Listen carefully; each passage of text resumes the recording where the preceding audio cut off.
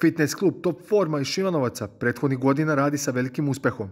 Tokom vanrednog stanja su imali pauzu, a sada treniraju uz propisane mere i u manjim grupama. Naravno da smo pauzirali kad je bila vanredna situacija, dva meseca čak, ali ovako poštujemo sve mere. Deca kod mene uglavnom imaju individualne treninge, ovaj, a grupe su podeljene na 5-6 njih, tako da, ali imamo ovde veliku kvadraturu, tako da se snalazi. Koronavirus je u mnogome promenio kalendar takmičanja za 2020. godinu. Učenice Maje Radosavljević vredno treniraju i pripremaju se za nove izazove koji ih čekaju. Jedino takmičenje koje je ove godine održano je Top Forma kup u, u opštini Pećinci u sportskoj hali Donji Tovarnik.